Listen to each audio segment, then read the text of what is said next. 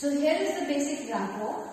Uh, it also depends on the kind of stage you have, whether it is T shape, it is oval shape, whether it is L shape. There are different kinds of stages, but then how to move. So when you enter from one side and you're about to enter, your feet should be in 12, 10 o'clock or 12, 2 o'clock position.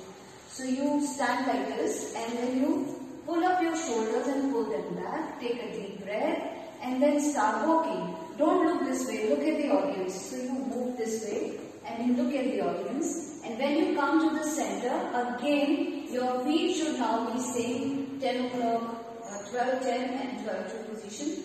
And then your hands, make an L with your hands and then put them here. You can either hold it lightly or you can hold them hard as you want to.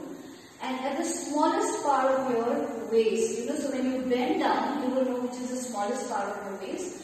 Put your hand there and pull your shoulders back and your chin forward. And then just feel as if somebody is pulling you from your hair like a balloon. So there. And then when you move, the front foot will move first.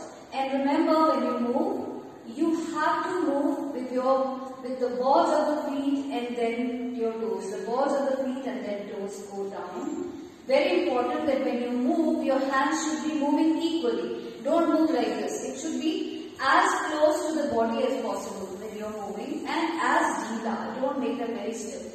So they move very, very close to your body. And remember to lock your knees and take long strides as you walk.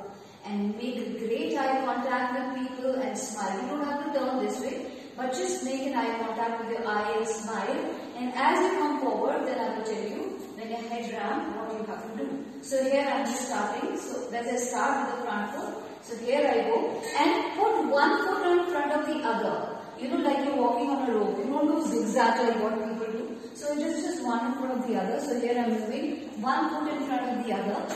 And as you see that my hands are moving right next to my body and I come to the head ramp. And when I come to the head ramp, I again take this T stance, it is called the 12-10 or the 12-2 position. And now I can put my both hands here, I can put one hand here.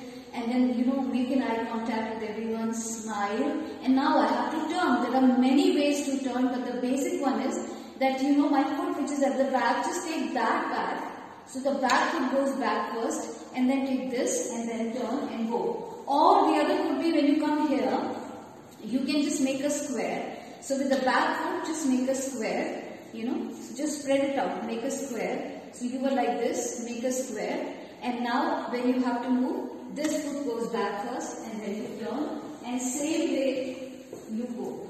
Don't move your hips too much because when you walk on a rope, you know, one foot in front of the other, already you will get that little swing on your hips. But remember to smile, look happy and enjoy the music. And this is how once you reach back, you reach here, again take that T stance and if you enter from here, depends whether you go out from there or from there, that choreographer will tell you. This stance and then exit from here looking at the audience. I hope this basic helps you. You have to practice and practice and practice and that's the only way you will become a